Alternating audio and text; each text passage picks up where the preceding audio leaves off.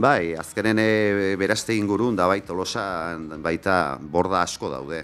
Eta az, ba, borda horietan memoria asko dago, bizipen asko, eta intentatze deu, ba, pixkanaka, pixkanaka, ba, bai gaztei, bai heldui, ba, hartzain kultura hortan barneratzea, ez? Ba, bordan ingurun zergatik izatezin lizarrak. Ba, geho petri, arrizko e, petrilek baita itxiturak iteko, da, ba, bueno, murgiltzegea, ba, bizipen hartzaiak bizitze zituen garai bateko modu bezala, bai.